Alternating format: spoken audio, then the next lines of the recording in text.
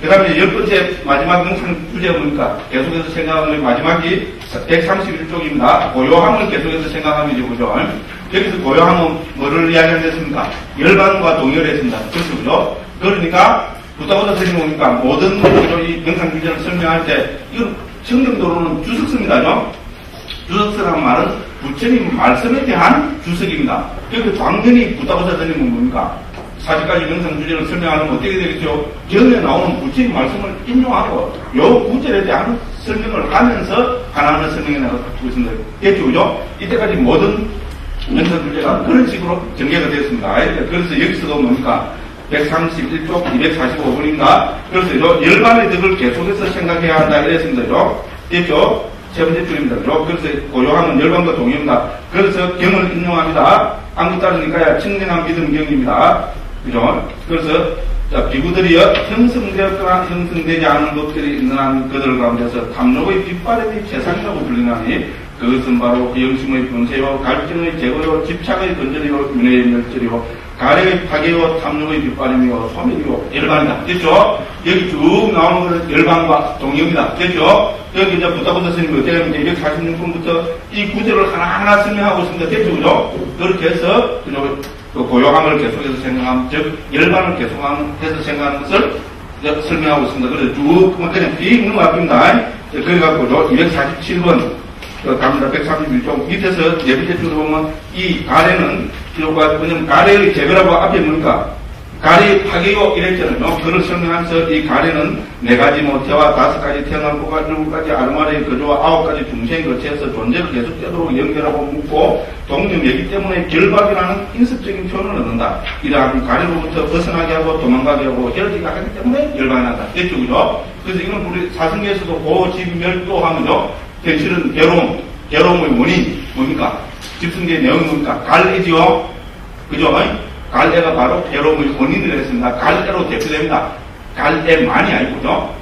여러, 그러니까 불성법들을 여기서 갈대로 대표하고 있습니다. 됐죠? 그럼 갈대가 해소되고 소멸되면은 그것을 네 번째, 아, 세 번째 성스러운 진리는 뭡니까? 소멸이라고 멸성계라고 그러고 이 소멸이 바로 열반과 동의입니다. 열반은 어떻게 해서 실현됩니까? 1. 문득 실현된다.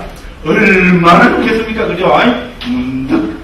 아직까지 저 여기 속아갖고 제가 사실 여기 속아서 추가했거든요. 속아서 추가했더니 좀 이상합니다만은요. 얼마나 멋집니까? 문득 딱 그죠? 딱 받아들고 있다고. 문득 딱 깨집는다고. 부시대진다고. 네? 그죠? 근데 문득 되는 건 없습니다. 당연히 뭡니까? 사성계에서 뭐 합니까? 열번은 어떻게 실현됩니까? 예, 도를 닦아야 됩니다. 그렇죠? 그게 바로 네 번째 도성계입니다. 됐죠? 괴로움의 소멸로 인도하는 도닦음의 성스러운 진리 이렇게 하면서 오멸 도성계합니다. 그래서 도를 닦아야 됩니다. 어떻게 도옵니까? 어떻게 도냐 하면 뭡니까? 자다가 일어서도 팔천도를 나와야 되거든요. 팔천도를 닦아서 열반을 실현합니다. 간단 명, 간단 명료한 방법론입니다. 있잖아요. 그래서 그, 그, 이제 괴로움이 소멸된 경기를 우리 열반이 한다. 여기까지 하겠습니다. 그 다음에 248번에 보면 그죠? 열반의 동의들을 쭉 나열하고 있습니다. 그죠? 그래서 이제 249쪽에 가면 그렇게 해서요. 이제 그 249번입니다. 249번 그죠? 그 두 번째 문단입니다. 두 번째 문단입니다. 고요함의 덕은 심오하기 때문에 차시죠. 혹은 각가지 종류의 덕을 계속해서 생각하며 전념하기 때문에 이것은 본산매는 이루지 못하고 근접산매만 이른다. 됐죠? 왜냐면 열반을 그죠? 대상으로 하는 범부는 뭡니까? 본부가 열반은 압니까? 열반을 체득했습니까? 열반을 체득했으면 벌써 승자입니다. 그러니까 이거를 갖고는 어떻게 됩니까? 본 뭐, 도달하지 못합니다. 대상을 못 찾습니다. 설령 대상을 찾았다 하더라도 그거는 그죠? 엄청나게 그죠? 열반이 그건 심오하기 때문에 표상을 만들 수 없습니다. 됐죠? 그래서 본상면에 못 들어갑니다. 그 다음에 어떻게 됩니까? 그걸 또 계속해서 생각이 되죠? 그죠? 무슨 말씀을 알죠? 그죠? 그러니까, 어떻게 됩니까? 열반에는 그걸 해서요. 우리는 표상을 읽지 못합니다. 자, 그래서 근접상면만 이런 데 있습니다. 그죠? 그래서 이것은 고요함을 덕을 계속해서 생각함을 통해 일어나기 때문에 고요함을 계속해서 생각하느라 그런 데 있습니다. 250번입니다. 여섯 가지 계속해서 생각하면 경우처럼 여섯 가지 계속해서 생각하면 뭡니까? 불법성계 보시천신이 쪽이요. 이것도 성스러운 제자만이 성취한다. 그죠? 건물은 못합니다. 열번을, 아유, 열번을 계속해서 생각하지. 그렇다 하더라도 고요함을 존중하는 법무들도 이것을 마음에 잡도록 해야 된다. 그렇죠? 열반은 탐진치가 소멸된 경기를 해서, 그죠? 아, 우리 앞에서 읽었던 것 같죠?